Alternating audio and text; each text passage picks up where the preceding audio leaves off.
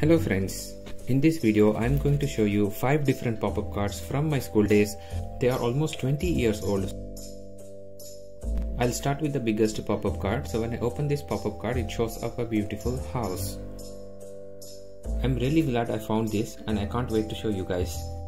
There was a little bit of damage and the paper has turned yellowish. Apart from that it still works fine. There is a string which is attached to the roof. It is to bring the roof in a proper position when the card is opened. Watch this video on a full screen for better viewing. And there is one more string attached out there for the another roof. And the trees are connected to the balconies.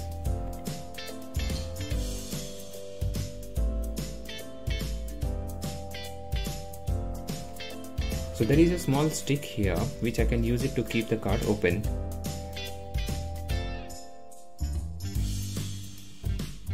This is one of my favorite card. Please don't forget to hit a thumbs up button if you like the video too.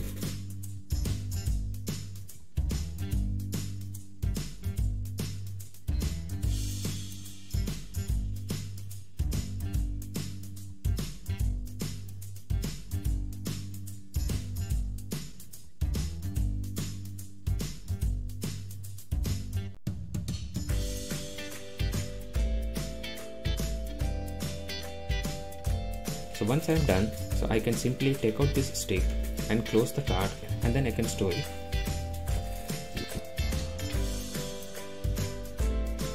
So now it's time for me to show you 4 more different cards. Don't forget to comment on this video, let me know which card did you like the most. Subscribe to my channel for more unique interesting videos. I'll soon see you in the next video. Until then, bye.